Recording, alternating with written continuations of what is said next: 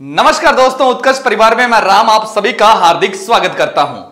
जितने बच्चे यहाँ पर आ चुके हैं, सभी बच्चों को गुड इवनिंग बिल्कुल बेटा, राधे राधे सभी को जो यहाँ पर पहुँच चुके हैं। कुलदीप महावर है स्नेहा, राधे राधे, संतोष ऑफिशियल बिटू शर्मा, अजीत, अनिल कुमार, सैनी, सभी बच्चों को राधे राधे गुड इवनिंग बेटा। क्लास का टाइम हो चुका है। एक बार सेशन को दबाकर शेयर कर दीजिएगा ताकि और बच्चे भी अपने साथ में जुड़ सके। तो बेटा, एक बार के लिए सेशन को दबाकर शेयर कीजिएगा। बढ़ेंगे अपन आगे की ओर। जैसे आप सभी को पता है कि हम जो डिस्कस करते हैं, वो प्रीवियस ईयर के क्वेश्चंस प्लस एमसीक्यू के बारे में देखते हैं ना? बिल्कुल बेटा, आज का सेशन भी वैसा रहेगा। आपको विद इन टेन सेकेंड में आपको क्या करना है? आंसर बताना है कि इसका आंसर ये होगा। लास्ट में आपको कैलकुलेशन करना है कि आपके जितने भी अपन ने क्वेश्चंस यहाँ पर करेंगे, उनमें से आपके क्वेश्चंस कितने सही होते जा रहे हैं। और जो बच्चे यहाँ पर पहली बार आ रहे हैं, उनको मैं बता दूँ रेगुलर आप क्लास लीजिएगा। आपकी जो क्लास होती है मंडे टू सैटरडे रात नौ बजकर, नौ बजे से रात दस बजे तक ये क्लास होती है आपकी। आप कंटिन्यूटी बनाइएगा और आप दसवीं या ग्यारहवें दिन अपना लेवल को चेक कीजिएगा। आपके क्वेश्चंस है, वो बढ़ने लग जाएँगे। आपके क्वेश्चंस जो है, वो ज़्यादा करेक्ट होने लग जाएँगे। ज़्यादा कुछ पढ़ने की ज़रूरत नहीं है। बिल्कुल इस क्लास को ज़रूर देखिएगा। सागा नंदन भारती जय श्री राम, सुमित कुमार, स्नेहा, बिल्कुल सभी बच्चों को गुड इवनिंग बेटा। करते हैं स्टार्ट बढ़ते हैं आगे की ओर। बहुत सारी हमारी बातें हो चुकी है टाइम भी हो चुका है। देखिएगा, पहला क्वेश्चन आपकी स्क्रीन पर जल्दी से जल्दी आपको आंसर उसका देना है। जसवंत कुमार मीणा, बिल्कुल, राम राम। देखिएगा, पहला क्वेश्चन आपकी स्क्रीन पे फटाफट आपको आंसर देना है कि इसका आंसर क्या होने वाला है। 201 201 नंबर क्वेश्चन इससे पहले वाले क्वेश्चन आपको करवा दिए गए हैं। देखिएगा 201 नंबर क्वेश्चन क्या कह रहा है कि श्रृंखला में भिन्न भिन्न वोल्टेज के रेटिंग के संधारित्र को जोड़ने पर पहले क्या सावधानी बरतनी चाहिए? हम बहुत सारे कैपेसिटर को सीरीज़ में जोड़ रहे हैं तो हमें उनमें क्या आपको जो है सीरीज़ में जोड़ रहे हैं कैपेसिटर को तो हमें सावधानी क्या बरतनी चाहिए? वो सावधानी आपको बतानी है। बिल्कुल जल्दी से कमेंट करके बताइएगा, उसका राइट आंसर क्या होने वाला है। ऑप्शन को पढ़िएगा, चार ऑप्शन पढ़िएगा। आपको कौन सा सही लगता है? ऑप्शन पे बेस्ट ये क्वेश्चन है तो जल्दी से आंसर देके बताइएगा राइट आंसर क्या होने वाला है। बिल्कुल हंड्रेडवीं क्लास की आप सभी को शुभकामनाएँ। आज हमारी यूट्यूब पर हंड्रेड क्लास हो चुकी है, बिल्कुल। बिटू शर्मा, क्या बात है? बड़ा ध्यान रखते हो यार। आज तो बहुत अच्छा लगा कि बच्चों ने कमेंट किया, सर हंड्रेडवीं क्लास हो चुकी है। थैंक यू बेटा, आप सभी को हंड्रेडवीं क्लास की शुभकामनाएँ बेटा। एक बार एक बार जोरदार तालियों गड़गड़ा जानी चाहिए कि हमने हंड्रेड क्लास यहाँ पर कंप्लीट की है और इस हंड्रेड क्लास में आपको बहुत कुछ सीखने को मिला होगा। एक इलेक्ट्रिकल के बारे में बहुत कुछ जाना है हमने इस हंड्रेड क्लास में ना। तो देखिएगा, ललित कुमार कह रहे हैं कि ए ऑप्शन है, अजीत कह रहे हैं बी ऑप्शन है।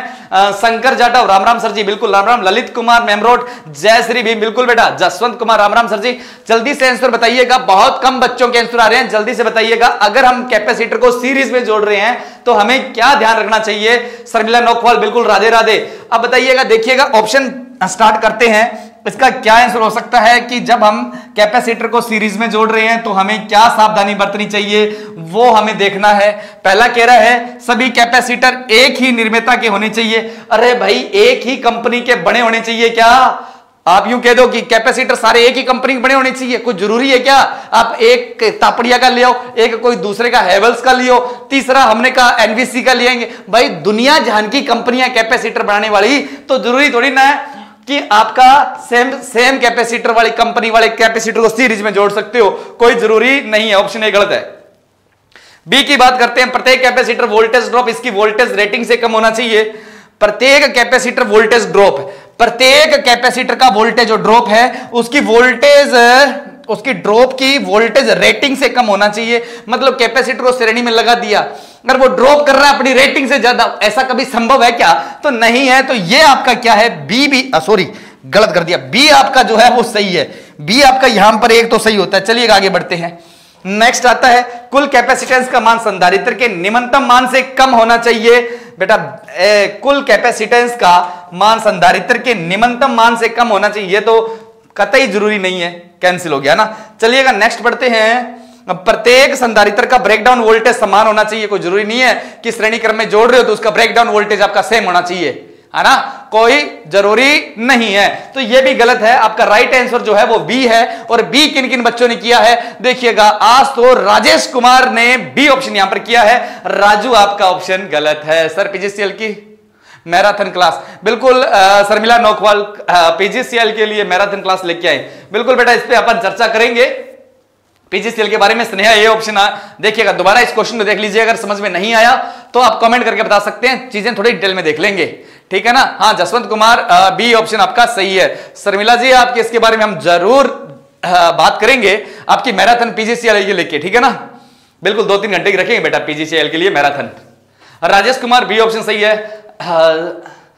Saini Seema good good night sir ji इतना जल्दी गुड नाइट। चलिए आगे नेक्स्ट बढ़ते हैं। आगे आता है 202 नंबर क्वेश्चन आपका। देखिएगा 202 नंबर क्वेश्चन क्या कह रहा है। पहले तो याद रखिएगा असिस्टेंट लोको पायलट 23 जनवरी दो हज़ार उन्नीस थर्ड शिफ्ट में क्वेश्चन ये पूछा गया है। एएलपी का क्वेश्चन है ध्यान से समझना है और फटाफट आंसर देना है। निम्नलिखित मापदंडों में किस मापदंड की भिन्नता संधारित्र की धारिता को प्रभावित नहीं कर, करेगी?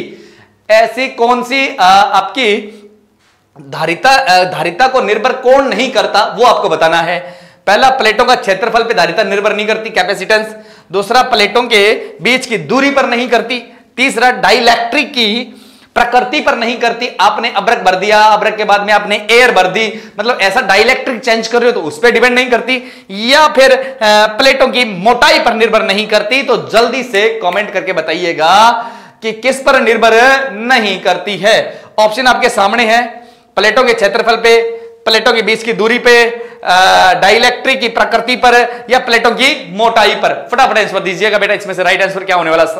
शारदानंदन भारती कह रहे हैं सी ऑप्शन दलित कुमार कह डी ऑप्शन सुनील कुमार कोहली कह रहे हैं सर सी ऑप्शन जल्दी से आंसर बताइएगा राइट आपका आंसर क्या होने वाला है। जितने बच्चे यहाँ पर देख रहे हैं बेटा, एक बार सेशन को लाइक ज़रूर करें यार, बहुत कम लाइक हो रखे और सेशन अच्छा लग रहा है तो दबाकर बेटा शेयर भी करिए। सूरज डी ऑप्शन कह रहे हैं Jaswant Kumar D option Saini Seema C option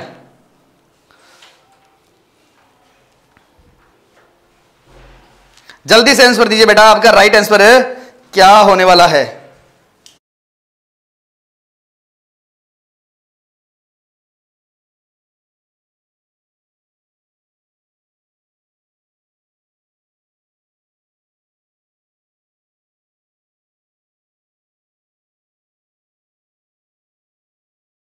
बच्चों के सारों के आंसर आ चुके हैं।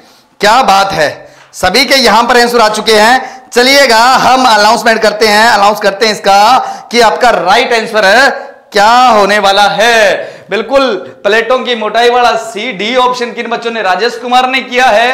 बिल्कुल, ए, अरे बेटा, अक्षय शर्मा, एक चीज़ बताइएगा किन किन पे निर्भर करता है, सुनाते देखो, आप मेरे को यूँ बताइएगा आपने ऐसा संधारित्र पढ़ा है ना, ये वाला संधारित्र पढ़ा है, ये संधारित्र होता है, दोनों प्लेटें आपकी समान होती है। बिल्कुल, आपने कहा, सर, बिल्कुल।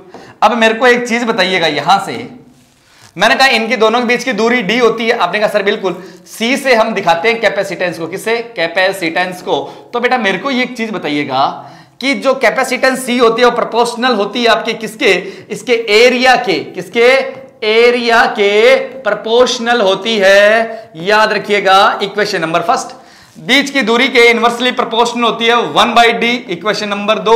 तीसरी बेटा, आपका डाइलेक्ट्रिक के मोटाई पर डिपेंड करती है डाइलेक्ट्रिक मोटाई बढ़ती है तो ये कैपेसिटेंस भी आपकी बढ़ जाती है। तो बेटा, देखिएगा, इस पर डिपेंड कर रही है, और प्लेटों के बीच की दूरी पर इस पर भी कर रही है। डाइलेक्ट्रिक करेगी, मोटाई करोगे तो बेटा बढ़ जाएगी। लेकिन प्लेटों की प्लेटों की मोटाई जो है उस पर डिपेंड नहीं करती है। ये प्लेट आपने मोटी बनाई है, पतली बनाई है, इस पर डिपेंड थोड़ी ना करेगी। तो डी आपका राइट आंसर हो जाता है। जिन बच्चों ने डी किया है, वो राइट आंसर है। हाँ, बिल्कुल, राजेश कुमार एरिया पे डिस्टेंस पे डिपेंड ऑन रहती है ये, शर्मिला। थैंक यू बेटा। आप बहुत अच्छा पढ़ाते हैं। समझ में आना चाहिए बेटा आपको, ठीक है ना? आप मेहनत करते हो। इतनी रात को जो बच्चे मेहनत कर रहे हैं, बेटा ये मेहनत आपकी ज़रूर रंग लेके आने वाली है है ना? चलिएगा डी ऑप्शन द राइट होगा ट्रिक विद द प्रिंस चलिएगा नेक्स्ट क्वेश्चन की ओर बढ़ते हैं। 203 नंबर क्वेश्चन आपकी स्क्रीन पे दिखाई दे रहा है। 203 नंबर क्वेश्चन को पढ़िएगा, फटाफट आंसर दीजिएगा।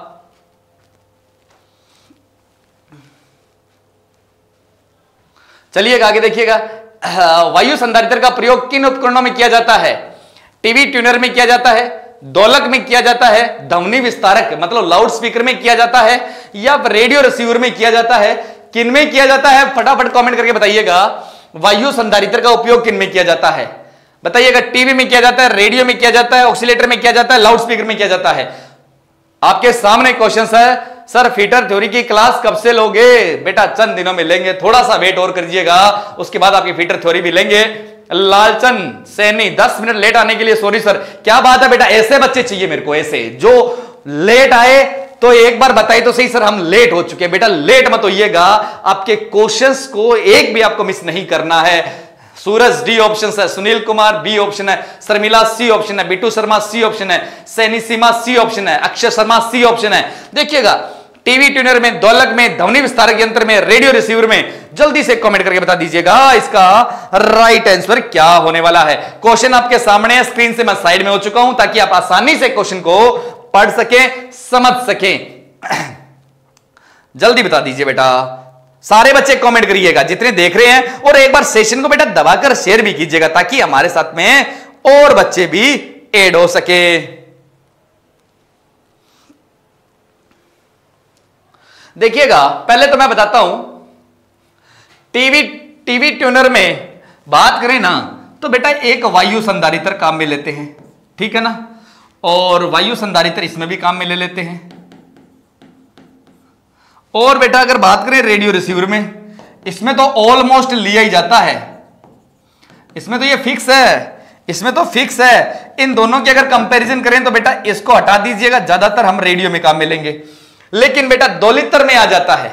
दो लीटर में हमारा कौन सा कैपेसिटर काम लेता है? फ़ेज़ सिर्फ़ दो लीटर काम में लिया जाता है।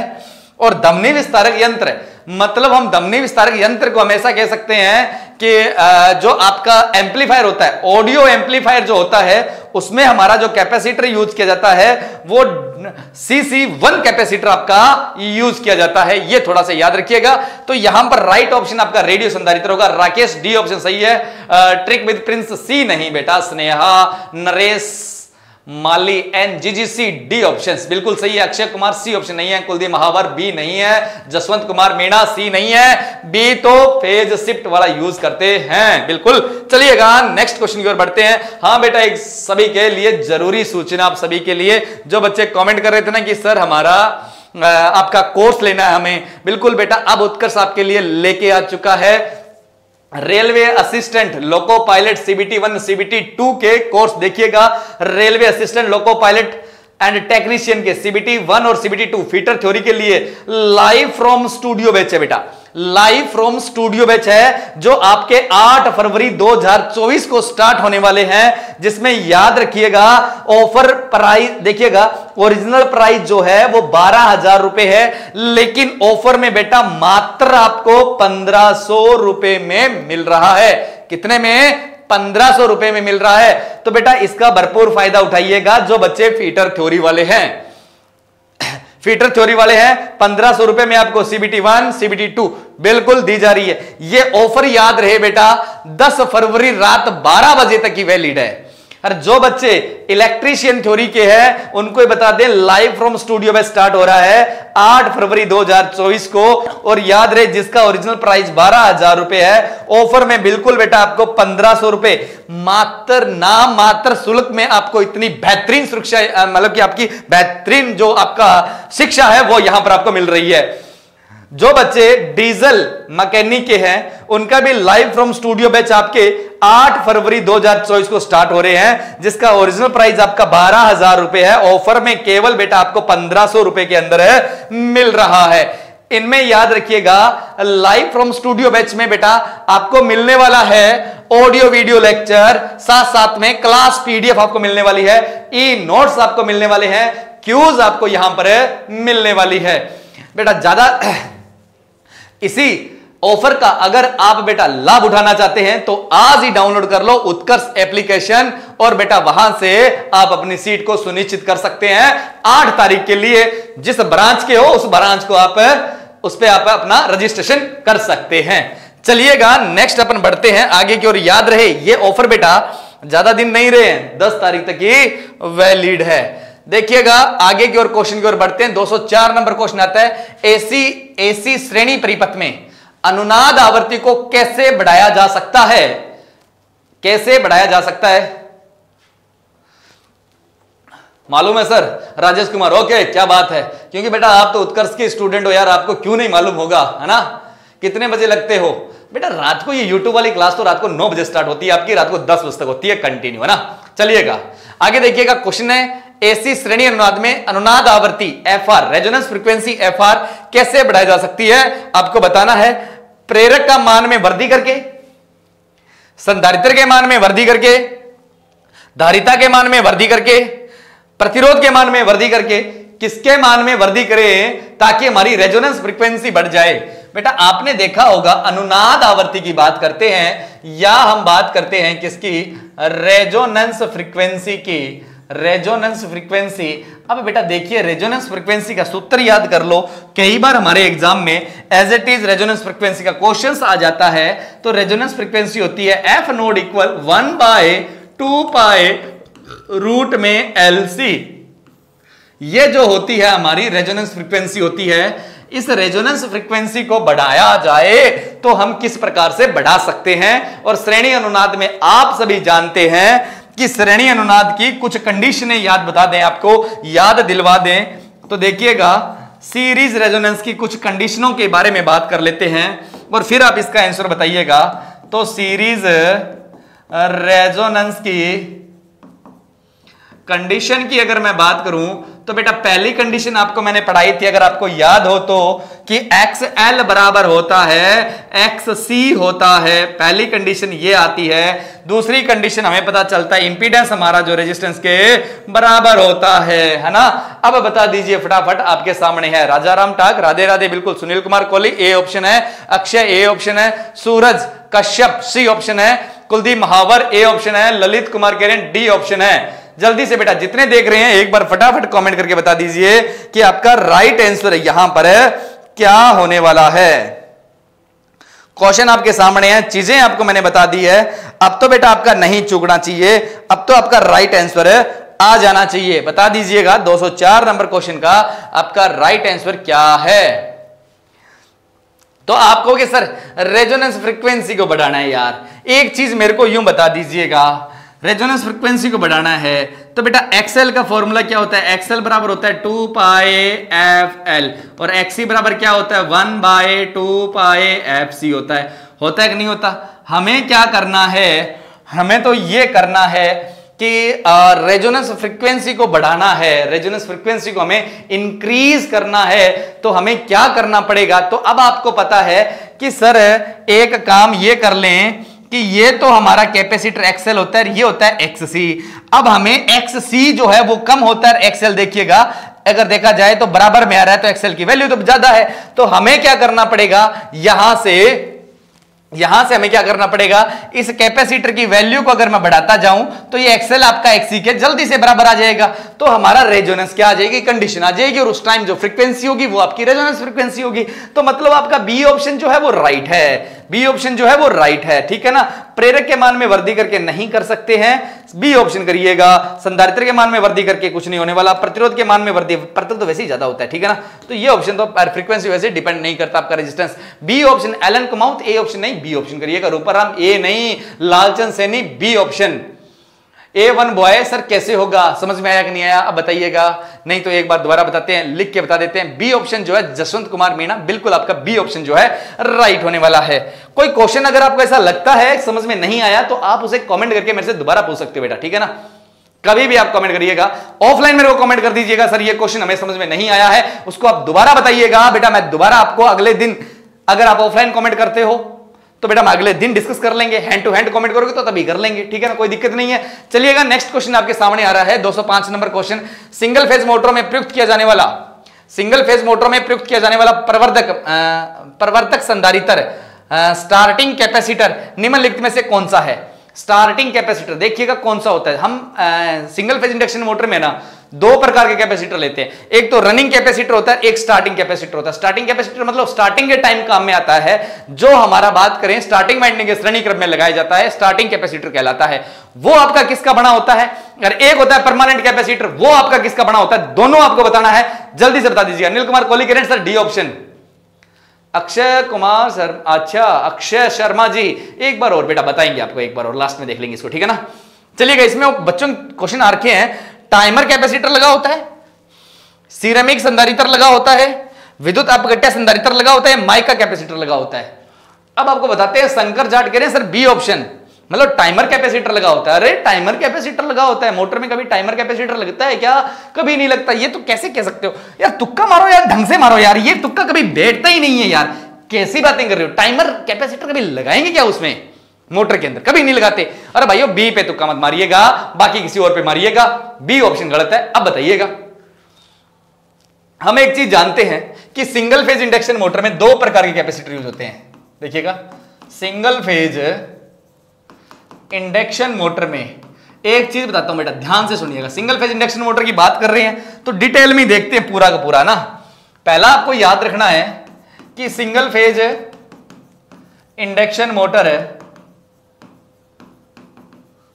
सेल्फ स्टार्ट नहीं होती है, सेल्फ स्टार्ट नहीं होती है। यह तो आप सभी जानते हैं कि सर, हमारी सिंगल फ़ेज़ इंडक्शन मोटर जो है सेल्फ स्टार्ट नहीं होती है। इसे हमें सेल्फ स्टार्ट बनाना पड़ता है। इसीलिए हमें स्टेटर पर दो वाइंडिंग की जाती है। कितनी? नहीं होती है। अरे कारण लिख दो। क्योंकि क्योंकि वाइंडिंग 180 डिग्री पर होती है।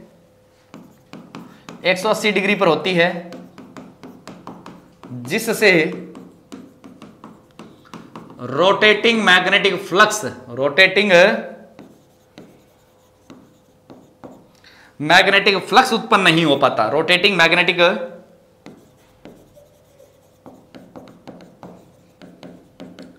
फ्लक्स उत्पन्न नहीं हो पाता, उत्पन्न नहीं हो पाता है। इसीलिए हमारी single phase induction motor start नहीं होती है। लेकिन हमें तो सिंगल फ़ेज़ इंडक्शन मोटर को सेल्फ स्टार्ट करना है है ना? अब कुछ बच्चों के आंसर बदल गए हैं। सी ऑप्शन हाँ क्या बात है आंसर के पास में आ रहे हो, आ रहे हो, आ रहे हो बेटा। अब देखिएगा, हमें तो क्या करना है? सिंगल फ़ेज़ इंडक्शन मोटर को स्टार्ट करना है। इसीलिए हमें क्या कहते हैं? सिंगल फ़ेज़ इंडक्शन मोटर में स्टेटर पर दो वाइंडिंग की जाती है।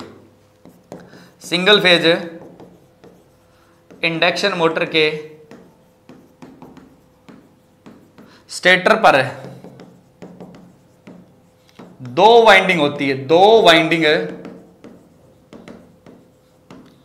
होती है, जो 90 डिग्री के फ़ेज़ अंतर पे जुड़ी होती है, जो 90 डिग्री के फ़ेज़ अंतर पर जुड़ी होती है। कई बार क्वेश्चन आ जाता है सिंगल फ़ेज़ इंडक्शन मोटर में वाइंडिंग कितने डिग्री पर? सिंगल फ़ेज़ पूछ ले तो 180 अगर हमें पूछ ले सिंगल फ़ेज़ इंडक्शन मोटर में जब दो वाइंडिंग की जाती है, दोनों वाइंडिंग बीच में कलांतर कितना होता है? टू फ़ेज़ में कितना हो गया?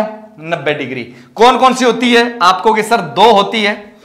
एक तो होती है हमारी रनिंग वाइंडिंग रनिंग के टाइम काम आएगी। रनिंग वाइंडिंग और एक होती है हमारी कौन सी? मैन वाइंडिंग कौन सी? Main winding oh sorry running winding main winding कहते हैं। मतलब स्टार्टिंग वाइंडिंग लिखिएगा। दूसरी होती है हमारी स्टार्टिंग वाइंडिंग जब दो हमारी वाइंडिंग हो गई तो बेटा दो ही कैपेसिटर यूज़ करेंगे। अब देखिए कौन कौन सा। अगर आपसे पूछ ले, अगर आपसे पूछ लेता परमानेंट कैपेसिटर के बारे में परमानेंट कैपेसिटर कौन सा यूज़ करते हैं तो आप कहना पेपर पेपर कैपेसिटर जो आपके छत के पंखे की मोटर में लगा होता है, वो permanent capacitor motor permanent capacitor होता है। कभी कैपेसिटर खराब हो जाए ना, उसको फोड़ के देख लेना, एक लंबा सा चमकीला चमकीला पेपर निकलेगा, इसीलिए पेपर कैपेसिटर कहते हैं, क्योंकि वो हमेशा लगा रहता है। लेकिन हमें परमानेंट कैपेसिटर नहीं पूछा। हमें स्टार्टिंग कैपेसिटर पूछा है। स्टार्टिंग कैपेसिटर पूछा है। तो बताइएगा स्टार्टिंग कैपेसिटर के बारे में याद रखिएगा। या सिंगल फ़ेज़ इंडक्शन मोटर में स्टार्टिंग कैपेसिटर के बारे में बात की है। तो ये इलेक्ट्रोलाइट प्रकार का होता है, विद्युत अपगणनीय। या इलेक्ट्रोलाइटिक प्रकार का कैपेसिटर होता है। हिंदी में लिख देते हैं, विद्युत अपघटनीय घटनी संधारित्र यूज़ में लेते हैं। तो आपका सी ऑप्शन जो है, यहाँ पर राइट हो जाता है। जिन बच्चों ने Madan Jat C option Ruparam A option नहीं होगा बेटा। ठीक है ना? सी ऑप्शन करिएगा। लालचंद सैनी, बिल्कुल। अतुल चौहान डी ऑप्शन आपका नहीं होगा। माइका कैपेसिटर यूज़ में नहीं लेते हैं। चलिएगा नेक्स्ट क्वेश्चन की ओर बढ़ते हैं। 206 नंबर क्वेश्चन बहुत बार ये क्वेश्चन मैंने आपको करवाया हुआ है। उम्मीद करता हूँ ये क्वेश्चन तो आपको विद इन तीन सेकंड में आपका आंसर आना चाहिए। क्वेश्चन को देखिएगा और बताइएगा। यूनिट पूछ रहा है परावैद्युतांक सामर्थ्य की इकाई क्या होती है? परावैद्युतांक सामर्थ्य की इकाई क्या होती है? जल्दी से कमेंट करके बताइएगा। यहाँ से दो फॉर्मूले आपके आते हैं। जल्दी से बताएँगे आपको। सर अब थ्योरी की क्लास नहीं है क्या? बिल्कुल बेटा थ्योरी की क्लास हम लेंगे। कुछ प्रैक्टिस कर लेते हैं क्वेश्चनों की यार, क्योंकि प्रीवियस ईयर एग्ज़ाम के क्वेश्चन हमें करने बहुत ज़रूरी है। जब तक आपको यह पता नहीं चले कि क्वेश्चन उठता कहाँ से है कैसे उठता है? तब तक हम पढ़ कैसे सकते हैं? पहले यह तो बताइए ना यहाँ से आपको चीज़ उठने वाली है है ना? तभी तो आप अपने कर सकते हैं ना अगर आपको मार्केट में भेजा जाए और बोल दी जाए ये सामान लेके आओ। पहले आपको उसके दिखाएँ तो सही कि ये चीज़ यहाँ पर मिल रही है मार्केट में तभी तो आप ला सकते हो। उसी प्रकार बेटा चीज़ों को हमें पढ़ने से पहले थोड़ा बहुत आपको आ, मैं बता दूँ कि कहाँ से उठ रहे हैं। अक्षय शर्मा के डी ऑप्शन आ चुका है अजीत का ए ऑप्शन आ चुका है देखिएगा डी और ए देखिए, परावैद्युतांक सामर्थ्य की कई पूछी है इकाई सेंटीमीटर के अंदर जितना वोल्टेज होता है या एक मीटर में जितना वोल्टेज होता है, उसे हम बोलते हैं प्रावैद्युतांक सामर्थ्य। क्या बोलते हैं प्रावैद्युतांक सामर्थ्य? कि वो कितने वोल्टेज को सहन कर सकता है। है कि नहीं है? तो बेटा, इकाई क्षेत्र इकाई दूरी पर जो आपका वोल्टेज को सहन कर ले, जो वोल्टेज को सहन कर ले, वो हमारा क्या कहलाता है? वो हमारा क्या कहलाता है? परावैद्युतांक सामर्थ्य कहलाता है। तो वोल्टेज कौन सहन कर रहा है? एक मीटर या एक आपका एम mm का टुकड़ा सहन कर रहा है तो वोल्ट पर मीटर हो जाता है। आप डी ऑप्शन मीटर पर वोल्ट मत करिएगा, ये आपका गलत हो गया। बिटू शर्मा, बिल्कुल, मोटर तो मैंने अभी तक पढ़ाई नहीं है आपको, पढ़ाएँगे। जसवंत कुमार, डी ऑप्शन नहीं होगा, ए ऑप्शन आपका राइट होगा। यार, काफ़ी बार बताया हुआ क्वेश्चन है, ठीक है ना? अब एक बार एक चीज़ हो रहती है। ये तो प्रावैद्युतांक सामर्थ्य पूछा है। लेकिन कई बार क्वेश्चन ऐसा आ जाता है प्रावैद्युत नियतांक की यूनिट पूछ लेता है। या तो प्रावैद्युतांक सामर्थ्य की पूछे तो वोल्ट पर मीटर हो गई। सेम क्वेश्चन से ऐसा ही रिपीट हो जाता है हमारा। प्रावैद्युतांक नियतांक की यूनिट पूछ लेता है। तो प्रावैद्युतांक नियतांक को हम लिखते हैं के से, और के जो होता है, वो होता है विद्युतशीलता बटा निर्वात में विद्युतशीलता। तो ये ई जो होती है, ये हमारी विद्युतशीलता होती है, शीलता। और यहाँ पर ईप साइलेंट नोड जो होती है, ये हमारी होती है निर्वात में निर्वात में विद्युतशीलता, निर्वात में विद्युतशीलता। और दोनों की जो यूनिट होती है वो हेनरी पर मीटर और सॉरी फेरड पर मीटर और फेरड पर मीटर होती है। Farad per metre farad per metre होती है। तो यहाँ पर ये जो होता है, ये होता है हमारा यूनिट लेस क्वांटिटी होती है। परावैद्युतांक नियतांक जो है, उसकी कोई यूनिट नहीं होती है। परावैद्युतांक सामर्थ्य जो यूनिट होती है, वो वोल्ट पर मीटर होती है। ये आपको याद रखना है। बिल्कुल। चलिएगा तो राइट आंसर आपका ए करिएगा। ओके मदन जाट, रूपा राम, अक्षय कुमार। अच्छा अच्छा अक्षय अक्षय शर्मा, आप नए हो। कोई दिक्कत नहीं है बेटा, नए हो। तीन चार दिन क्लास लीजिएगा। हैबिट में आ जाएगी आपके क्लास और क्वेश्चन आपके ज़्यादा सही होने लग जाएँगे, ठीक है ना? हाँ चलिएगा नेक्स्ट अपन बात करते हैं। आगे देखिएगा, आगे चलते हैं। देखिएगा नेक्स्ट क्वेश्चन अरे वह न्यूमेरिकल क्वेश्चन आपके सामने। फटाफट आंसर दोगे बेटा। अब तो न्यूमेरिकल वाला झमेला खत्म आपका, ना? आने लग गए होंगे न्यूमेरिकल देखिएगा क्वेश्चन क्या कह रहा है कि सोलह प्रतिवादा वाले प्रत्यावर्तिक धारा परिपथ के शक्ति गुणा की गणना करें। मतलब शक्ति गुणा का आपको निकालना शक्ति गुणा किसे कहते हैं? Cos phi. कोस फाई क्या होता है करंट और वोल्टेज के बीच में जो एंगल क्रिएट होता है, यदि परिपथ में चार एम्पियर धारा प्रवाहित हो रही है तो और औसतन जो खपती, खपत, जो विद्युत शक्ति है, वो आपकी 200 वाट है। देखिएगा क्या क्या देर का है। आर का मान दे रखा है। कितना? तो आपके सर 16 ओम। प्रतिवादा वाले? अच्छा जेड का मान दे रखा कोई दिक्कत नहीं है। आर मानो जेड मानो एक ही बात है ना। प्रतिरोधित होता है। तो जेड बराबर मारा दिया 16 ओम। आगे शक्ति गुणांक हमें निकालना है कोस फाई हमें निकालना है। चलते हैं, धारा दे रखी है आई बराबर हमें दे रखा है। कितना? आप कहोगे सर, चार एम्पियर। ये लो। और क्या देख रहा है? पावर दे रखी है, कितनी? तो आपको सर 200 वाट। ये लो। अब आप जानते हो कि सर पावर फैक्टर वाला किस, कौन सी यूनिट में आपका पावर फैक्टर आता है, किस पावर में? आपको सर रियल पावर जो होती है ना रियल पावर वास्तविक शक्ति। हिंदी में बोलते हैं वास्तविक शक्ति, जो प्रतिरोध खपत करता है, जो प्रतिरोध खपत करता है उसे हम बोलते हैं वास्तविक शक्ति, जिसे हम P से डिनोट करते हैं। और आप सभी जानते हो, सर, P बराबर क्या होता है? तो बेटा, P बराबर होता है वी आई कोस फाई लेकिन सबसे बड़ी विडंबना ये आ गई, सर, यहाँ पर तो V दिया ही नहीं हुआ। अब क्या किया जाए? तो V तो आप या तो निकालिएगा, नहीं निकालना चाहते तो सीधा फॉर्मूला पावर के फॉर्मूले सभी बच्चे जानते हैं, सर, P बराबर वी आई होता है। P बराबर आई स्क्वेयर आर होता है। P बराबर वी स्क्वेयर अपॉन आर होता है। बताओ कौन सा लगाना पड़ेगा। जब हमें आई देर का है आर देर का है तो v इंटू आई की जगह आई स्क्वेयर आर रख लो। नहीं रखना चाहते तो बेटा आप एक काम करो, हमें करंट का मान पता है, हमें जेड का मान पता है तो हम वोल्टेज का मान तो आसानी से निकाल सकते हैं। 16 चौके कितना होता है, दोनों को मल्टीप्लाई कर दीजिएगा, ओम के नियम से v बराबर आई आर आपका निकल जाएगा। मदन एएलपी का पंद्रह सौ रुपए वाला कोर्स क्या पूछना चाहते हो बेटा? एक बार दोबारा बता दीजिएगा, ठीक है ना? चलिएगा लास्ट में एक बार और बता देंगे, मदन जाट आपको, ठीक है ना? असिस्टेंट लोको पायलट वाला जो कोर्स है लाइव फ्रॉम स्टूडियो में जो बैच है, उसकी बात कर रहे हैं आप और उसका ध्यान रखिएगा, दस तारीख तक आपका ऑफ़र प्राइस है। अब देखिए कैसे निकालेंगे। आप एक काम करो वी निकाल ही लो यार जमेला खत्म कर लेते हैं ना। वी निकालना आता है ना सभी को वी बराबर क्या होता है? आई आर देखिए आर है नहीं जेड है जेड रख दीजिएगा। तो v बराबर आई का मान कितना है? आपने कहा, सर आई का मान चार है। इंटू सोलह। सोलह चौके कितना होता है? चौसठ है। वोल्टेज कितना आ गया? चौसठ है। तो p बराबर v का मान कितना? चौसठ है। इंटू आई का मान कितना? चार।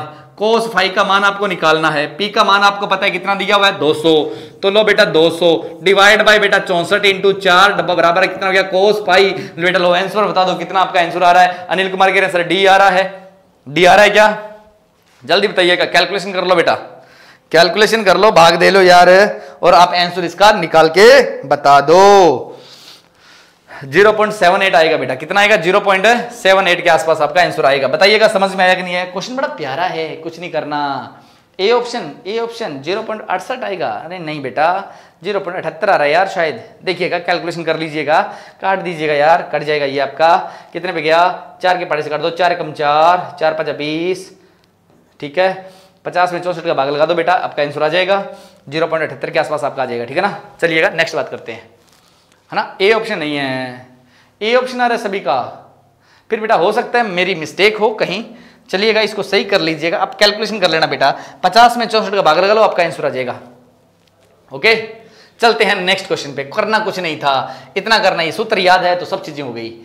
हमें वोल्टेज नहीं दिया गया, निकाल लो। नहीं निकालना तो बेटा P बराबर वी स्क्र आर वाला फार्मूला लगा दो तो भी बेटा उतना ही आएगा, कोई गड़बड़ नहीं होने वाली है।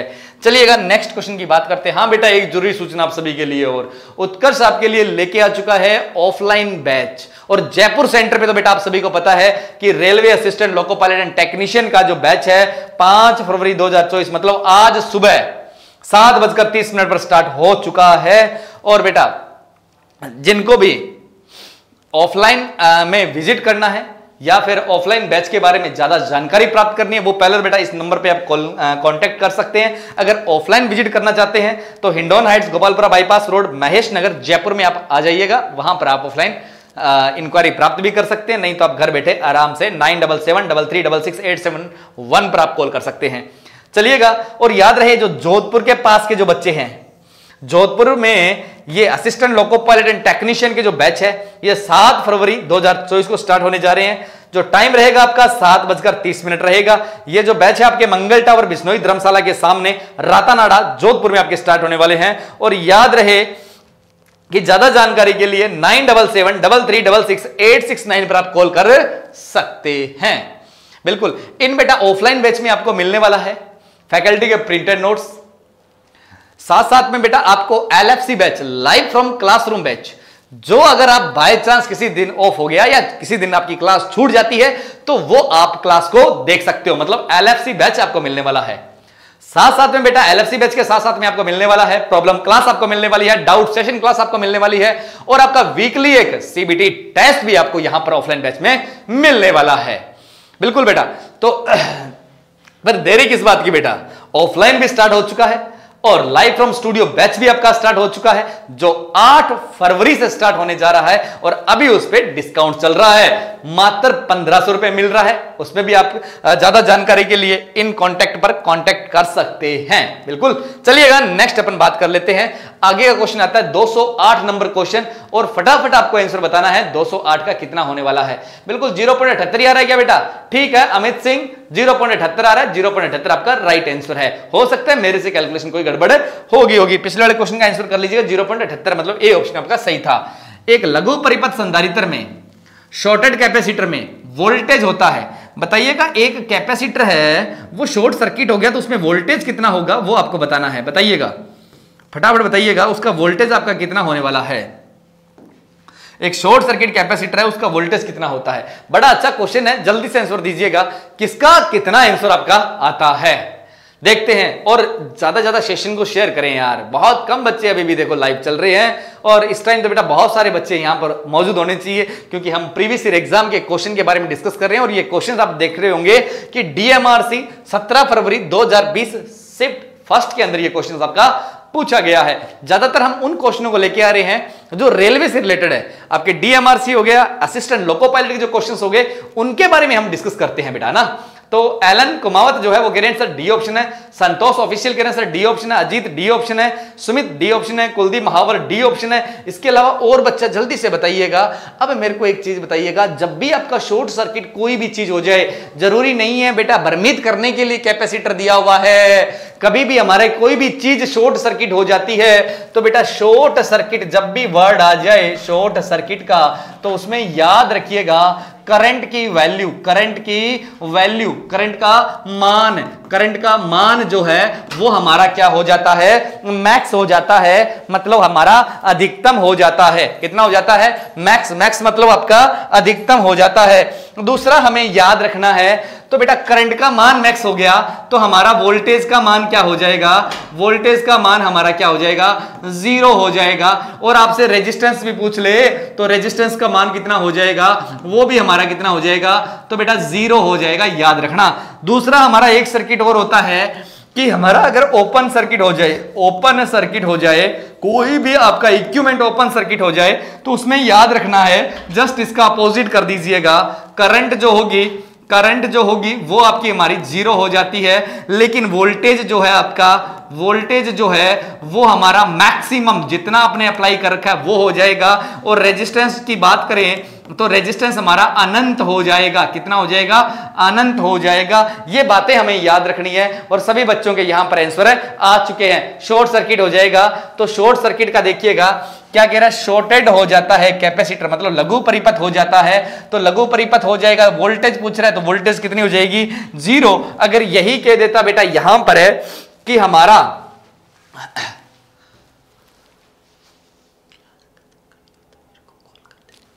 चलिएगा नेक्स्ट अपन बात करते हैं बेटा। यहीं से अगर पूछ लिया होता कि ओपन सर्किट ना तो ओपन सर्किट होता तो मैक्सिमम वोल्टेज हम अप्लाई करते, यहाँ पर मैक्स लिखते, लेकिन शॉर्ट सर्किट बोला गया है। तो बेटा, इन बातों को आप याद रखिएगा यार, तीन बात ऊपर वाली याद रखिएगा शॉर्ट सर्किट की ओपन सर्किट जस्ट उसका अपोजिट होता है, बस। एक सर्किट को याद रखिएगा, दूसरा उसका अपोजिट है।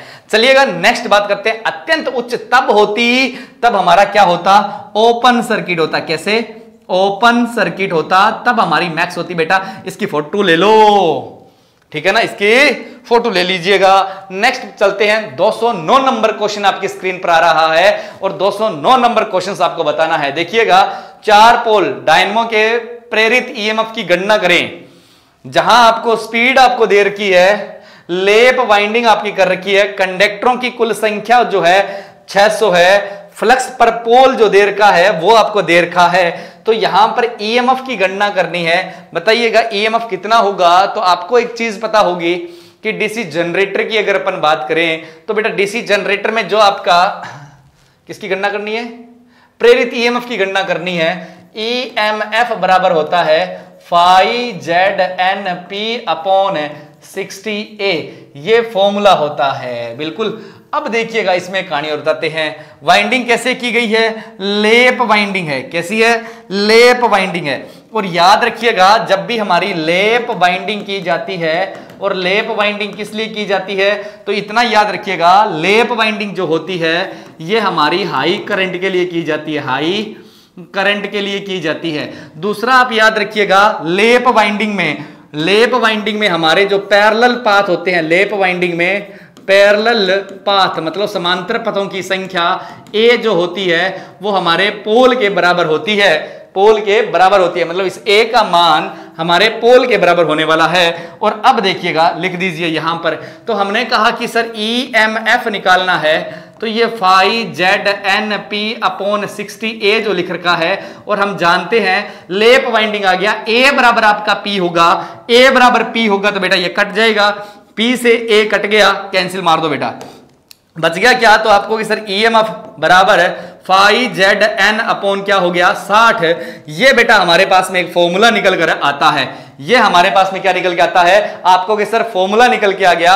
अब हमारा ये फॉर्मूला निकल के आ गया तो इसमें वैल्यू को पुट करिएगा और आंसर निकाल दीजिएगा। फाइव फोर होता है फ्लक्स अब देखिएगा कैलकुलेशन आपको करनी है, गुणा भाग। फाइव का मान कितना है? प्रेरित ईएमएफ में पर पोल फ्लक्स कितना है? 0.064 है।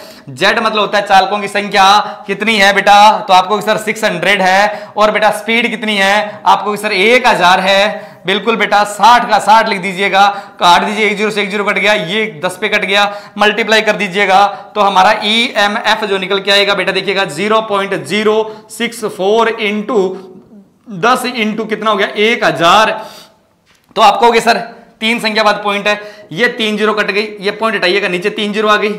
देखिए, तीन ज़ीरो से तीन ज़ीरो कट गई तो मतलब कितना आंसर आ गया? 640 वाट आपका सॉरी 640 वोल्ट आपका आंसर यहाँ पर निकल कर आ जाता है। 640 वोल्ट आपका आंसर निकल के आता है। ई एम एफ़ हमारा ये राइट हो जाता है, बिल्कुल। चलिएगा ई एम छह वोल्ट हो गया। 640 हमारा डी ऑप्शन जो है, ये हमारा राइट हो जाता है, बिल्कुल। बिटू शर्मा, हो गया ना आंसर कितना सिंपल है यार। इलेक्ट्रिकल कितना सिंपल सब्जेक्ट है। कुछ नहीं करना। जिसको फॉर्मूला आता है, मैं कहता हूँ, बेटा, क्वेश्चन कभी गलत नहीं होगा।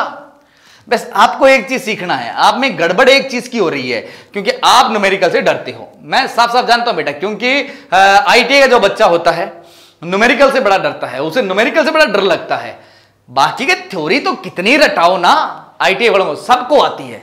लेकिन हमें एएलपी लगना भाई। आईटी वालों, हमें एएलपी लगना है। हमें थ्योरी आती है, लेकिन बीटेक वालों के साथ में पेपर देना है पॉलिटेक वालों के साथ में पेपर देना है। पेपर उनके जैसा ही हमारा होने वाला है। उन्होंने चार साल में बीटेक किया, तीन साल में डिप्लोमा किया हुआ है। हम दो साल वाले आईटी वाले, जो कभी कॉलेज ही नहीं गए कॉलेज का मुँह भी हमने कम ही देखा हुआ है। आईटीआई वालों के लिए तो बता दूँ, क्योंकि जाते ही नहीं आईटीआई में। सिस्टम आजकल तो बेटा दो नंबर से काम हो जाते हैं पेपर देने जाते हैं सिस्टम चल यही रहा है। है ना? तो बेटा देखिएगा, आप में ये सबसे बड़ी कमज़ोरी हो गई। तो उसको हमें क्या करना है? एक बीटेक वाले को, एक पोलटेक वाले को क्या करना हमें? ओवरटेक करने के लिए हमें थोड़ा सा फोकस करना है न्यूमेरिकल पे। क्योंकि उनको न्यूमेरिकल स्ट्रांग है, उन वाली वीकनेस उनका स्ट्रांग है, और वो हमारी वीकनेस है। तो उसको बेटा इंप्रूव करने के लिए न्यूमेरिकल क्वेश्चन को ज़रूर कीजिएगा। नहीं आता स्क्रीनशॉट ले लो, एक बार खुद करके देखिएगा। नहीं आता, दोबारा देखिए कहाँ गलती हुई है। ऐसा अगर आपने कर दिया तो न्यूमेरिकल आपके बेटा 101 परसेंट सही होने लग जाएँगे। कुछ नहीं है फॉर्मूला अगर आपको आता है, और फॉर्मूले कैसे आएँगे, वो बेटा जब थ्योरी पढ़ाता हूँ तो बेटा मैं एक एक लाइन को, फॉर्मूले को अच्छे से रगड़ रगड़ के लिखता हूँ। कहता हूँ बेटा, ये हाईलाइट कर लो, ये ज़रूरी है। बेटा, वही फॉर्मूले यहाँ पर हम यूज़ करते हैं। सर जी, नेट स्लो चल रहा है। अरे, नेट कैसे स्लो हो रहा है बेटा? आजकल तो यार जियो ने आग लगा रखी है। देखिएगा 210 नंबर क्वेश्चन की बात करते हैं। देखिए 210 नंबर क्वेश्चन आपके सामने 140 माइक्रोफेरेड संधारित्र को जब 250 वोल्टेज 50 हर्ट से जोड़ा जाता है, तब धारा का मान आपका क्या होगा? क्वेश्चन हमारा यूपीपीसीएल टीजी टू आठ नवंबर 2014 को क्वेश्चन ये पूछा गया है। देखिएगा, फटाफट चाहता हूँ आंसर दें। डाटा आपको बता दूँ सी का मान आपको दिया हुआ है। सी का मान है 140 माइक्रोफेरेड। बेटा, इस एम म्यू को हटाइएगा। इसका मतलब होता है 10 की घात माइनस छह। म्यू का मतलब दस की घात माइनस छह ये फेरेड हो गया। आपने कहा, सर, ठीक है। वोल्टेज कितना दिया हुआ है? तो आपको सर वोल्टेज जो दिया हुआ है, वो हमारा 250 वोल्टेज दिया हुआ है। लेकिन फ्रीक्वेंसी कितनी दी हुई है? आपने कहा, सर 50 हर्ट्ज दी हुई है। कितनी दी हुई है? 50 हर्ट्ज दी हुई है। लेकिन जोड़ा जाता है, तब धारा का मान क्या होगा? अब हमें क्या करना है? धारा के मान को निकालना है आई को निकालना है। सबसे बड़ी विडंबना कि सर हमने तो ओम का नियम लगा दें। हम तो ओम का नियम जानते हैं। ओम स्लो जानते हैं कि आई बराबर होता है वी अपॉन आर लेकिन सर यहाँ पर आर नहीं दिया हुआ। हम आर कैसे निकालें? लेकिन एक चीज़ आपको बता दे, यहाँ संधारितर है और संधारितर में जो प्रतिरोध होता है, वो होता है एक्सेल संधारितर में जो प्रतिरोध होता है, सुनिएगा, कैपेसिटर में कैपेसिटर में कैपेसिटिव रिएक्टेंस होती है, कैपेसिटिव रिएक्टेंस होती है। होता तो एक प्रकार का प्रतिरोध है यार बट नाम अलग अलग है ना। बस यही प्रॉब्लम होती है। मतलब ये हमारा एक कैपेसिटर है। इसमें हमारी करंट अगर पास हो रही है, इसमें हमारी करंट पास हो रही है, इस करंट को रोकने वाला जो आदमी है, वो हमारा है एक्सएल सॉरी एक्सी जिसे हम बोलते हैं प्रेरणिक प्रतिघात। इंग्लिश में बोलते हैं इंडक्टिव कैपेसिटिव रिएक्टेंस और हिंदी में बोलते हैं धारितीय प्रतिघात। हिंदी में क्या बोलते हैं? धारितीय प्रतिघात। तो हमें तो क्या निकालना है? धारा निकालनी है।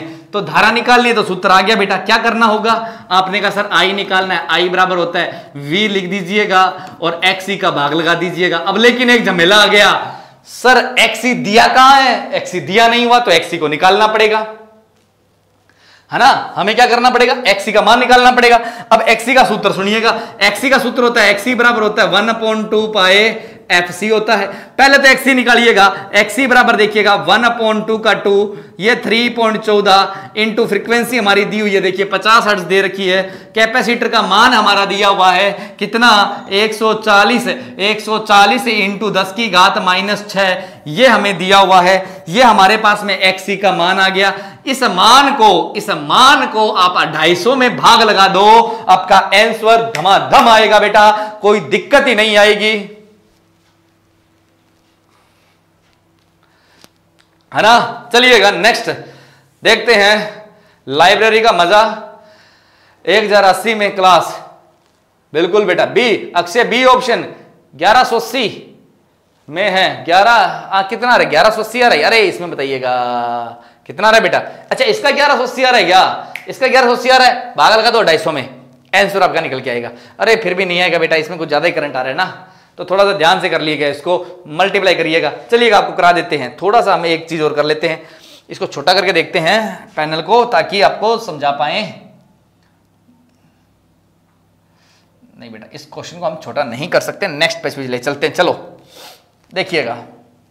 हमें क्या निकालना है? करंट करंट निकालना है तो आई बराबर क्या हो जाएगा? वी अपॉन एक्सी और एक्सी का मान तो हमने निकाल दिया। एक्सी बराबर क्या हो गया? वन अपॉन दो इंटू तीन पॉइंट चौदह इंटू सी का मान कितना था? अपने सी का मान देखिए कितना था बेटा? 140 माइक्रोफेरेड है ना? 140 इंटू दस की घात माइनस छ तो देखिए पहले सी को सॉल्व करते हैं एक्स सी को। एक्स सी बराबर कितना हो गया? ऊपर चला गया, एक इंटू दस की घात छह हो गया। बटा में दो इंटू तीन पॉइंट चौदह इंटू एक सौ चालीस हो गया। बिल्कुल, इसको पढ़ा रहने दो। अब यहाँ आ जाओ। वी का मान आप सभी जानते हो कितना है? 250 तो आई बराबर कितना दिया हुआ? 250 डिवाइड बाय बेटा इसका भाग दे लो। कितने का? एक इंटू दस की घात छह का। और बटा में क्या आ रहा है बेटा? ये बड़ी लाइन है ये वाली। आ, कौन सी? ये वाली। अब इसके नीचे एक्सी का मान पुट करना मतलब ये पुट करना है। तो दो इंटू तीन पॉइंट चौदह इंटू एक सौ चालीस। बेटा ये संख्या कहाँ चली गई? ऊपर चली गई। अब बेटा भाग लगाते रहो गुणा करते रहो आंसर निकाल लो बेटा। दो इंटू तीन पॉइंट चौदह इंटू एक सौ चालीस। डिवाइड कर देना बेटा। कितने से? एक इंटू दस की घात छह से। आपका आंसर जो है, वो निकल कर आ जाएगा। आंसर राइट हो जाएगा। सर ग्यारह इंटू दस की पावर तीन आ रही है। आरआरबी फ़ीस कितनी है सर ऑनलाइन गोलूमीणा आरआरबी की फ़ीस कितनी है सर ऑनलाइन बेटा, कौन से बैच की पूछ रहे हो आप? लाइव फ्रॉम क्लासरूम की पूछ रहे हो? या लाइव फ्रॉम आपके स्टूडियो बैच की आपके पूछ रहे हो? क्योंकि दोनों बैच आपके स्टार्ट होने वाले हैं। बिल्कुल? तो यहाँ पर देखिएगा अनिल कुमार कह रहे हैं सर ग्यारह पॉइंट इंटू दस की तीन आ रहा है, सर, बिल्कुल बेटा ग्यारह पॉइंट तीन आ रहा है, और बाकी बच्चों कितना आ रहा है? अनिल कुमार थ्री पॉइंट चौदह को बाईस बेटा सात लिख लो। हाँ कोई दिक्कत नहीं है, बाईस बेटा सात लिख लो बेटा, फिर भी आपका कट जाएगा जल्दी से, है ना? तो चलिएगा, इसका जो राइट आंसर आपका कितना आ रहा है, यहाँ पर है। कितना आ रहा है बेटा? इसके अकॉर्डिंग आंसर इसको जैसे ही भाग लगाओगे तो बेटा आपका आंसर यहाँ से मिल जाए सॉरी इसका आंसर आपको यहाँ पर मिल जाएगा, और उस पर आप टिक कर लीजिएगा, ठीक है ना? ये गुणा भाग तो आप कर ही सकते हैं। 25 तक पढ़े याद कर लो यार। जिसमें कभी भी आए आप आसानी से उनका आंसर दे पाओ। चलते हैं नेक्स्ट क्वेश्चन की ओर बढ़ते हैं आगे चलिएगा। आगे चलिएगा 211 नंबर क्वेश्चन आता है। 211 नंबर क्वेश्चन देखिएगा न्योन लैंप में विद्युत धारा का प्रवाह क्या कहलाता है? न्योन लैंप में विद्युत धारा अगर प्रवाहित हो रही है तो ओ, क्या कहलाता है? देखिएगा उष्मीय प्रभाव होता है क्या? चुंबकीय प्रभाव होता है रासायनिक प्रभाव होता है या गैस आयनीकरण प्रभाव होता है? आपको बताना है। देखिए उष्मीय प्रभाव तो उसमें होता है जिसमें आपका क्या होता है? हीट उत्पन्न होती है। अब एक लैंप आता है हमारा। एक मात्र एक ऐसा लैंप है जो हीट उत्पन्न करता है, वो लैंप होता है उदित लैंप वो कौन सा होता है? उदित लैंप इंग्लिश में बोलते हैं इनकेडिशेंट लैंप है। अच्छा लाइव बैच टेक्नीशियन का। बिल्कुल बेटा लाइव बैच जो टेक्नीशियन का है, उसका अभी जो एक तो आपको लाइव फ्रॉम स्टूडियो बैच जो है, वो आठ तारीख को स्टार्ट हो रहा है। उसकी मात्र फ़ीस है जो पंद्रह सौ रुपये हो रखी है। ये दस तारीख तक हो रखी है बेटा, ठीक है ना? हाँ चलिएगा। अब देखिएगा, इसमें अगर अपन बात करें तो सभी बच्चों को आ गया होगा। बेटा, उष्मीय प्रभाव जो होता है, जो हीट उत्पन्न करता है, जैसे हमारा नाइक्रोम का जो तार होता है हीटर जो होता है, वो हमारा उष्मा उत्पन्न करता है। उसमें उष्मीय प्रभाव होता है। तो बेटा न्योन लैंप में थोड़ी ना होता है, गलत हो गया। चलिएगा मैग्नेटिक इफ़ेक्ट चुंबकीय प्रभाव हो, किसमें होता है? चुंबकीय प्रभाव तो बेटा हमारी मशीन में होता है जो आपकी ट्रांसफ़र में देखें तो प्राइमरी वाइंडिंग मैग्नेटिक फ्लक्स को पैदा करती है सेकेंडरी वाइंडिंग उसको कट करती है फेराडे नियम से काम करता है मोटर में भी यही होता है स्टेटर आपका मैग्नेटिक फ्लक्स पैदा करता है रोटर उसको काट के घूमने लग जाता है बिल्कुल तो ये तो हमारा नहीं होने वाला। रासायनिक प्रभाव, बेटा, रासायनिक प्रभाव जो होता है, ये हमारा किसके अंदर होता है? तो रासायनिक प्रभाव के बारे में आप सभी जानते हैं कि सर, सेल में होता है और तो किसी में होता ही नहीं है। चलिएगा, और बेटा, ये गैस का आयनीकरण का जो प्रभाव होता है, यही हमारा किसमें होता है? न्योन लैंप में होता है। और आप याद रखिएगा, न्योन लैंप से हमारे बहुत सारे क्वेश्चंस एग्ज़ाम में पूछ लिए जाते हैं। न्योन लैंप जो होता है, कहाँ काम आता है? देखिएगा, इसमें एक से पाँच मीटर लंबी एक नली होती है। और आपको बता दें, ये न्योन लैंप कहाँ पर लगा होता है? एक से पाँच मीटर लंबी नली होती है, जिसमें न्योन गैस आपकी भरी जाती है। न्योन गैस भरी जाती है और उसके दोनों सिरों पर इलेक्ट्रोड लगा दिए जाते हैं। और याद रहे कि इसमें अगर एक मीटर नली ले रहे हो आप, एक मीटर अगर नली ले रहे हो तो उसको स्टार्ट होने के लिए एक एम्पियर धारा की आवश्यकता होती है और एक हज़ार वोल्टेज की आवश्यकता होती है स्टार्टिंग के टाइम अगर हम बात करें, सर, हमने तो सर जी, पाँच मीटर की पूरी ले ली। तो बेटा, पाँच एम्पियर आपको धारा चाहिए और पाँच हज़ार आपको स्टार्टिंग में वोल्टेज चाहिए न्योन साइन लैम्प में, क्योंकि इसमें न्योन गैस आपकी भरी हुई है। अभी आपको बताएँगे, इसमें ये गैस आयनीकरण ही क्या बला होती है, इसके बारे में थोड़ा सा डिटेल में देखेंगे, क्योंकि आयनीकरण आपका नया है। बाकी आपको उसमें प्रभाव पता है, चुंबकीय प्रभाव पता है, रासायनिक प्रभाव आपको पता है। ये गैस आयनीकरण प्रभाव एक नया इफ़ेक्ट आता है, जिसको हमें बड़े डिटेल में देखेंगे। आपने कहा, सर, चलो ठीक है। ये तो हमें पता चल गया कि एक से पाँच मीटर लंबी नली होती है न्योन लैंप में। आपने बेटा कभी भी देखिएगा, कभी ढाबे वगैरह पे खाना खाने अपन गए होंगे या कहीं अपन ट्रेवल करते हैं तो बेटा, जहाँ पर आपकी बसें वगैरह रुकती है, वहाँ पर आपने देखा होगा, एक पेड़ होता है, पेड़ के चारों तरफ़ बेटा एक आपका ऐसे पाइप सी लपेटी होती है, या फिर हमारे जो शादी होती है या पार्टी होती है, कोई फ़ंक्शन होता है घर में तो बेटा देखा होगा आपने मंडेरी, घर के मंडेरी के चारों तरफ़ बेटा एक पाइप सी लगा दी जाती है, और उसमें रात में बेटा जब वो उसको ग्लो करते हैं तो बेटा ऐसे लगता है कि तारे चल रहे हैं, वो कौन सा लैंप है? वो न्योन लैंप होता है। मतलब हम बात करें तो इस लैंप का जो उपयोग है वो बेटा ज़्यादातर तो हम किसके लिए किया जाता है? हुडिंग वगैरह के लिए किया जाता है। जैसे आपने देखा होगा, ऑफलाइन आपने उत्कर्ष को भी देखा होगा। उत्कर्ष का जो बोर्ड बना हुआ है, वो ऐसे बाहर की ओर निकला हुआ है और ऐसा लगता है, रात को क्या बात है, कितना अच्छा उत्कर्ष लिखा गया है। या फिर आप कभी भी ब्रांड के शोरूम में गए होंगे एडिडास नाइकी वगैरह, लिखा होता है। उनकी हुडीज पे जो लिखा होता है नाइकी वगैरह, ना ऐसे बाहर अक्सर लगे होते हैं, है ना? विज्ञापन के लिए अगर बात करें, है ना? तो बेटा वहाँ पर ये लैंप जो है आपका यूज़ किया जाता है। न्योन लैंप में गैस होने के कारण उसमें कैसा प्रभाव रहेगा? तो बेटा कैसा प्रभाव रहेगा? गैस का आयनीकरण होता है। अब गैस का आयनीकरण को सुनिएगा। गैस का आयनीकरण। अब हमने कहा, सर, ये गैस का आयनीकरण का क्या भला है? ये गैस का आयनीकरण क्या होता है? अब सुनाते हैं, देखिएगा। आपको एक ट्रांसपेरेंट है ना ग्लास ले लो। एक नली ले ली हमने। ये देखो, आयनीकरण के बारे में बता देते हैं। ये हमने एक ट्रांसपेरेंट ग्लास है हमारा। इसमें हमने दो इलेक्ट्रोड लगा दिए। ये दो इलेक्ट्रोड लगा दिए। इधर भी लगा दिए और आपने इधर भी लगा दिए। अब हुआ क्या? इस नली के अंदर आप, है ना, दो चीज़ भरिएगा। लैंप में एक गैस भरी जाती है। देखिएगा न्योन लैंप में तो न्योन गैस भर देंगे। लेकिन कोई दूसरा लैंप है, जैसे मरकरी लैंप है तो उसमें हमने आर्गन गैस भर देते हैं। ठीक है? ये निष्क्रिय गैस होती है। और तीसरी चीज़, एक चीज़ और डाल देते हैं। देखिएगा सोडियम वेपर लैंप है तो सोडियम डाल दिए मरकरी वेपर लैंप है मरकरी डाल दीजिए न्योन लैंप है तो न्योन गैस डाल दीजिएगा। कुछ भी डाल दीजिए बेटा इसके साथ में ना।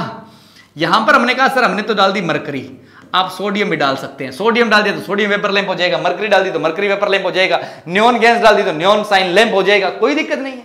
आपको तो ये करना है, अंदर क्या डाल रही है उस नाइट मतलब कि ऑर्गन गैस के साथ में, वो वैसा लैंप हो जाता है। अब हुआ क्या? इन इलेक्ट्रोड पे हमने क्या किया कि स्टार्टिंग में बहुत ज़्यादा वोल्टेज अप्लाई करते हैं। बहुत ज़्यादा वोल्टेज अप्लाई करेंगे। अब बहुत ज़्यादा वोल्टेज अप्लाई करेंगे ना तो ये मरकरी क्या करती है बेचारी? पिघल जाती है। मरकरी इतना वोल्टेज को सहन नहीं कर पाती है और ये बेचारी क्या होती है? इसका ऑक्सीकरण हो जाता है। मतलब ये क्या हो गई बेटा? पिंगल गई। और ये मरकरी हमारी पिंगलने लग गई। मरकरी वाष्प में बदल गई। मरकरी किसमें बदल गई? वाष्प में बदल गई।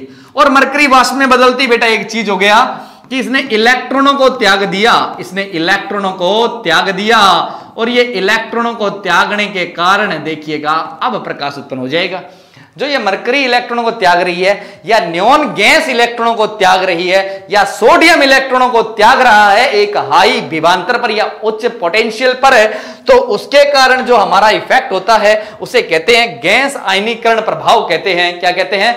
गैस का आयनीकरण प्रभाव कहते हैं। और ये जो अब इलेक्ट्रॉन है, ये अब इलेक्ट्रॉन है, ये बेचारे किधर भगते हैं? ये पॉजिटिव की तरफ़ भगते हैं, क्योंकि इलेक्ट्रॉन पे नेगेटिव चार्ज और ये भगना चालू करते हैं। कि हमारे पॉजिटिव की तरफ़ हम बगे, जिधर हमारा पॉजिटिव हो।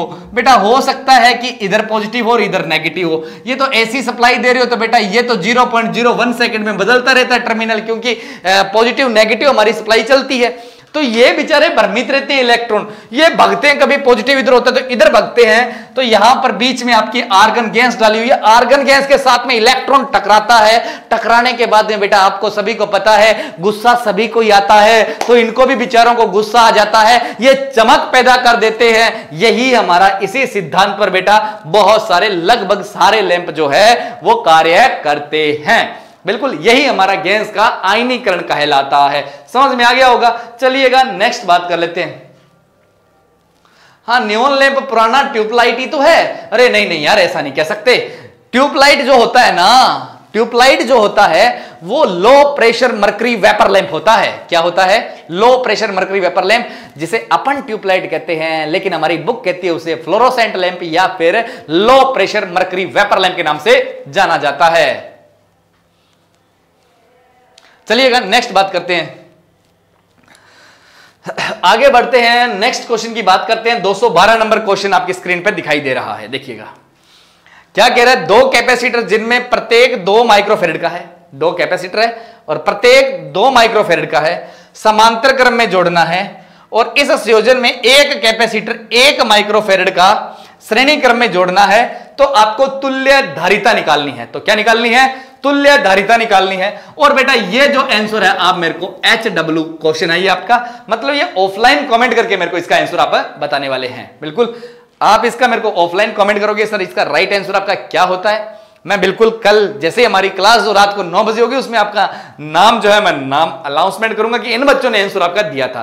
न्यूमेरिकल क्वेश्चन है और याद रहे टी एच उनतीस अगस्त 2018 शिफ्ट फ़र्स्ट में ये क्वेश्चन आपका एग्ज़ाम में पूछा गया है। और याद रहे कि कुछ बच्चे कमेंट कर रहे थे कि, सर, हमारा जो बैच है वो कब स्टार्ट हो रहा है? उनके बारे में बता दें कि बेटा, उत्कर्ष जो लेके आया है आपके लिए, देखिएगा लाइव फ्रॉम स्टूडियो बैच जो आपके फीटर थ्योरी इलेक्ट्रिशियन थ्योरी और डीजल मैकेनिकल थ्योरी वाले तीन ब्रांच के जो है, आपके live from studio batch start हो रहे हैं। और याद रहे कि जिनका ओरिजिनल प्राइस आपका बारह हज़ार है, मात्र आपको पंद्रह सौ रुपए मिल रहा है। ये ऑफ़र कितने तारीख तक है बेटा? ये ऑफ़र आपका ओनली फॉर दस फरवरी तक ही वैलिड है। बेटा, आज ही लाभ उठाने के लिए डाउनलोड कर लो उत्कर्ष एप्लीकेशन को। और याद रहे इन लाइव फ्रॉम स्टूडियो बैच में आपको मिलने वाला है। Video audio lectures class PDF E notes and quiz आपको यहाँ पर मिलने वाली है। और याद रहे, ये जो बैच है CBT part one and second मतलब पार्ट वन एंड सेकंड दोनों के लिए है। वैसे एक साइको का ही नहीं है। बाकी तो बेटा उत्कर्ष आपको क्या बना के दे रही है? बिल्कुल आपको चाहती है कि हर एक बच्चा यहाँ पर एएलपी असिस्टेंट लोको पायलट बन ही जाए। तो बेटा, आज की सभा यहीं समाप्त करते हैं। कल रात को फिर से मिलेंगे रात नौ बजे। बिल्कुल बेटा तो आज के लिए बस इतना ही। जय हिंद, जय भारत। और बेटा सेशन को दबाकर शेयर करें। जिन बच्चों को अगर सेशन अच्छा लगता है, फिर मिलते हैं बेटा नौ बजे। तब तक के लिए जय हिंद, जय भारत।